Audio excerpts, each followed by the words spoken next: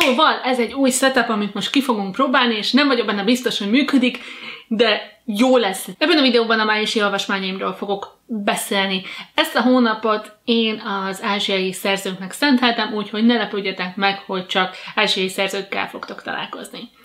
Az első olvasmányom a hónapban Kawaguchi Toshikazutól a Mielőtt a kávé kihűl című könyv volt. Ez egy japán szerző műve, egy ilyen soft, contemporary fantasy novella válogatás, ami eredetileg színdarabnak íródott. A Mielőtt a kávé kihűl egy pincehelyiségben helyet foglaló kávéházban játszódik, ahol lehetséges az időutazás, de bizonyos szabályokhoz van kötve, egy bizonyos asztal, egy bizonyos székén lehet ülni, csak a kávéházban utazhatsz vissza, stb. stb. Eléggé meg vannak kötve a szabályok, így megkérdőjelezhető, hogy ilyen szabályok mellett egyáltalán miért érdemes élni az időutazás lehetőségével, pláne, hogy még akadályozva is vagyunk.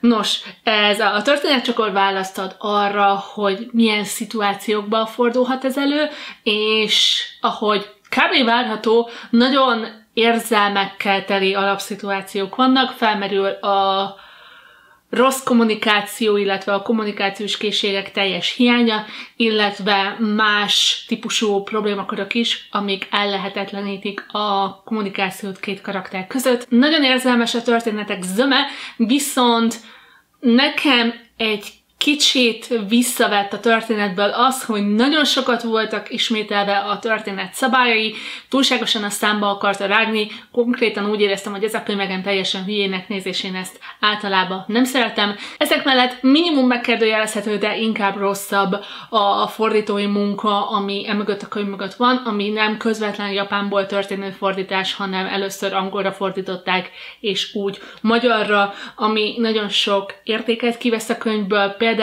nem jelenik meg benne a japán nevek sorrendje, ami ugyanolyan, mint a magyar, hogy először a vezetéknév és utána a keresztnével. Na, ezt nem veszi át a könyv maga, miközben az író nevét sikeresen lefordították jól. Ez volt a BookTube könyvklub egyik havi olvasmánya, és Hells csatornáján van róla egy kibeszélő, ahol Hells Sanna és Ella Mara társaságában kibeszéljük az ez iránt, a könyv iránt érzett érzéseinket, lent hagyom a leírásba, csekkoljátok le. A második könyv, amit a hónapban olvastam, az Malala Yousafzainak az önéletrajza volt, Én vagyok Malala címet viseli. Ő egy pakisztáni pastú lány, aki a tálibok által elfoglalt Szvát völgyben élt, és ellenük emelte föl a hangját, hogy a lányoknak már pedig igenis joga van tanulni. Mondja ezt magáról a könyv, a cím és a borító, viszont a történet nem erről szól. Ez egy pastu per pakisztáni történelmi ismeretterjesztő könyv, amivel alapjáraton semmi problémám nem lenne, de pont Malaláról és a munkásságáról tudunk meg vajmi keveset, tehát nekem borzalmasan kiütött az, hogy olyan történelmi eseményekről kapunk végtelen mennyiségű leírást, ami akkor történt meg, amikor Malala négy éves volt. Ti mire emlékeztek abból az időszakból a globál politikában, amikor négy évesek voltatok? Hallgatom. Semmire. Én sem. Pont emiatt nem feltétlenül tartom a legjobb önéletrajznak, illetve életrajznak valaha. Ez jócskán lerontotta az élményemet, mert effektíve én tényleg Malala munkásságára voltam kíváncsi, amiből nagyon keveset kapunk. Emiatt nekem nem volt feltétlenül egy pozitív élmény ez a könyv, ami nagyon-nagyon sajnálok. A harmadik könyv, amit befejeztem, az Ocean Wong-tól a Röpke Pillanat csak földi ragyogásunk című könyv, ami egy vietnámi-amerikai szerző tollából származó minimálisan, vagy megkérdőjelezhetően minimálisan önéletrajzi ihletésű levélregény. Ebben a történetben megismerhetjük a narrátort kiskutyát, aki a levelein keresztül meséli el az írás tudatlan édesanyjának, hogy milyen élményekkel gazdagodott a fiú élete azáltal, hogy az anyja és a nagyanyja megjárták a vietnámi háborút közvetve, illetve közvetlenül, hogy hogyan csapódik le rajtuk az amerikai álom, illetve az amerikai rasszizmus, illetve felmerülnek elég sötét témák ezek mellett, mint családon belüli erőszak, mentális egészség, állatkínzás, internalizált és tényleges homofóbia, stb. Tehát egy ilyen teljes kupac sötét téma, csak neked tessék elvitelre. Ocean Wongról azt kell tudni, hogy ő egy költő alapjáraton, és a verseiért ismeretes, és pont emiatt nem kellett volna, hogy meglepjen, hogy az írásmódja is nagyon erősen támaszkodik arra, hogy milyen költői képeket alkalmaz, viszont ami engem meglepett, hogy ezek mellett borzalmasan csapong. Tehát van az, hogy 20 oldalon belül hétszer váltunk idősíkot, hogy most pontosan melyik jelenetben vagyunk, és semmi átkötés nincs a kettő között, csak egy ilyen egységes gondolatfolyam van, amit én nagyon nehezen követtem, de ezzel azt hiszem egyedül vagyok. Viszont pont amiatt nem sikerült egyáltalán bevonulnom a történetbe, amit nagyon sajnálok, mert egy igazán érdekes és értékes könyvről van szó, ami egy nagyon ismeretlen aspektusát mutatja meg a vietnámi háborúnak egy olyan részét, amivel alapból mi, európai emberek nem nagyon szoktunk találkozni. Ez is egy havi BookTube könyvklub választásunk volt, ami Ági csatornáján került kibeszélésre Camilla, Fruzsi és Eszti társaságában, akik nagyon sok izgalmas dolgot mondtak erről a könyvről, és sokkal jobban szerették a könyvet, mint én, szóval mindenképpen csak valljátok le a live-ot, szintén lent hagyom a leírásban. A negyedik könyv, amit elolvastam a hónapban, az első csináló volt Tant van Enktől, aki egy maláj szerző. Ez egy történelmi pár, kortárs szépirodalmi könyv, ami a második világháború környékére teszi a fő cselekményt. Egy fiatal félig brit, félig kínai fiút, Filipet követünk, ahogy megismerkedik egy japán aikido mesterrel, akivel nagyon gyorsan, nagyon mély kapcsolatot tesz szert, és csodálatos lelkifejlődésen megy keresztül ennek a férfinak a segítségével, viszont ekkor üt be a krak, ami a második világháború és a japán megszállás, és Filipnek szembesülnie kell a választásai következményével. Számomra ez volt talán ez a könyv, ami leginkább lenyűgözött abban, ahogy az ázsiai kultúrát ábrázolja. Egy maláj szerző megadja azt a lehetőséget, hogy árnyalt és összetett képet ad mind a kínai, mind az angol, mind a japán kultúráról, és annak ellenére, hogy mindkét, mindhárom népcsoportnak megvannak a saját maga bűnei, képes őket egy egészként kezelni, és nem csak kiemelni a legrosszabb részüket, és arra hiperfókuszálni, ami egy fantasztikus történet, és effektíve érintve is van ez a kérdéskör, hogy hogyan kell, hogyan tudja nem démonizálni az összes japánt és a japán kultúrát, mint olyat, annak ellenére, ami az országában történik.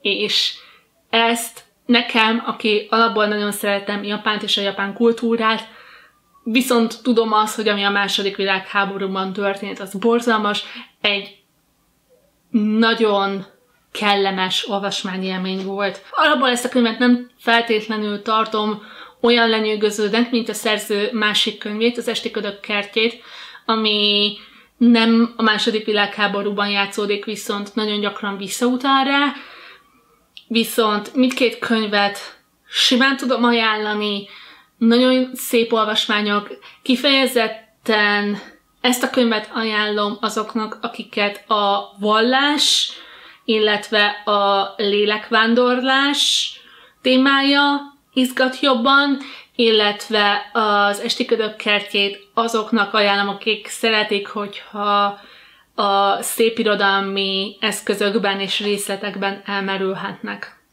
De mindkét könyv csodálatos, és Szerintem most már kijelenthetem, hogy az egyik kedvenc szerzőmről van szó. Az ötödik befejezett könyvem a hónapban Farida Kalaftól volt, az önéletrajza, ami az iszlám állam rabszolgája voltam címet viseli, aki egy iraki születésű jazidi lány, akivel tényleg pontosan az történik, ami a címben le van írva, egy kicsi, csipetet megkapunk az előéletéből, és utána viszont arra fókuszálunk, hogy mi történt vele, amikor az iszlám államfogságába került. Kontrasztba állítva Malalával nekem egy picit jobban tetszett a személyes hangvételem miatt. A leírt traumák sokkal személyesebbek pont emiatt, és sokkal inkább megérintett az, ami ezzel a lányal történt. Viszont nehezen lehet beszélni ezekről a témákról bármilyen értékelési rendben, mert alapból az önéletrajzok, illetve az életrajzok értékelése olyan, hogy most akkor én három csillagra értékelem az életedet, az egy ilyen borzalmasan nonsens állítás, és nem nagyon tudok vele mit kezdeni, és nagyon nem szívesen csinálom.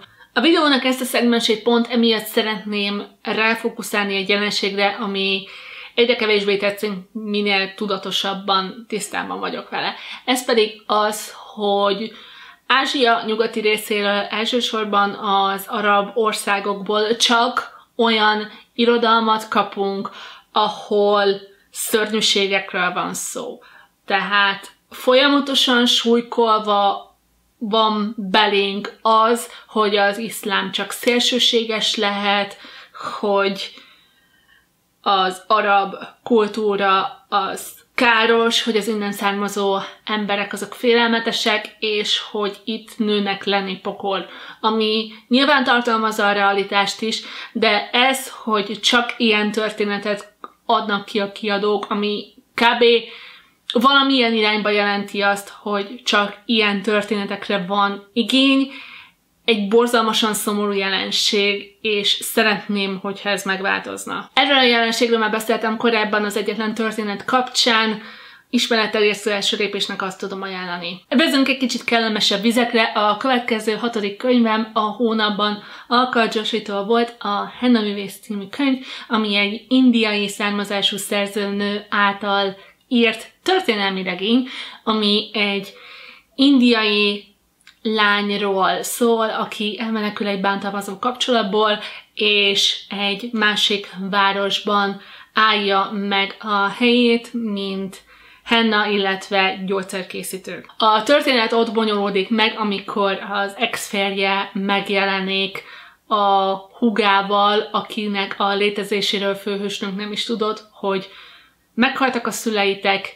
kezdje vele valamit, mert hozzá tartozik. A történet talán egy kicsit kevesebb szót fordít le indiairól magyarra, mint az nekem kényelmes lenne, de nem feltétlenül volt vele problémám. Az indiai kultúrát, illetve kasztrendszert nagyon szépen bemutatja az osztályok között fennálló különbségeket, és az ebből származó személyiségi, tulajdonságokat, meg hogy milyen korlátok közé vannak szorítva az emberek. Nagyon érdekes volt. Ez a könyv úgy jutott el a várólistámra, hogy megláttam Reese Witherspoon könyvklubjában, mint választás, és ennek a tükrében abszolút megtestesíti a főhősnő az, amit általában én egy Reese Witherspoon könyvklubja választástól elvárok. Egy nő, aki a saját lábán áll és megcsinálja a saját maga jövőjét, aki valamiféle érzelmi konfliktusba keveredik, és ezt hogy oldja fel magában. Maga a történet annyira nem ragadott magával, tehát olyan érzésem volt tőle, mint 12 egy tucat. Olvastam már hasonlókat, de maga az indiai setting borzalmasan érdekessé teszi, és ezért ajánlanám olvasásra, de viszont valószínűleg nem fogom a kedvenceim között emlegetni. Ellentétben az utolsó könyvvel, amit olvastam a hónapban, ami Ito projektől a Harmónia, ami egy japán science fiction regény. Ez a könyv egy olyan világot fest le, ahol létezik egy eszköz, ami az emberi szervezetben felinstallálva lényegében kapásból megszüntetik kialakulásuk pillanatában a betegségeket, és különböző információt ad az egészséges életről.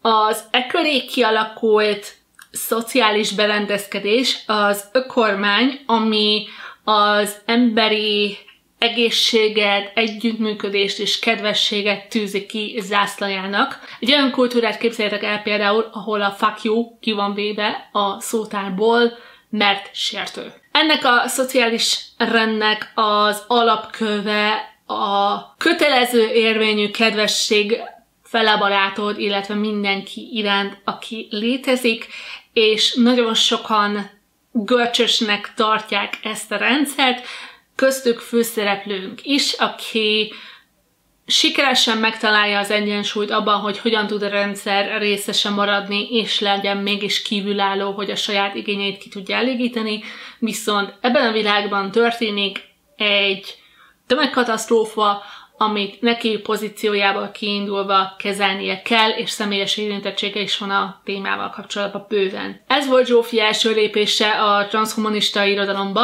Ez a könyv a választott témáiban sokkal inkább felborította a gyomrom, mint számítottam rá. Volt némi nehézségem azzal, hogy elhiggyem, hogy ilyen világ valaha megvalósulhat, viszont a folyamat, amit leírt, hogy miből indultunk ki, és miért lett ez, az teljességében hihető volt.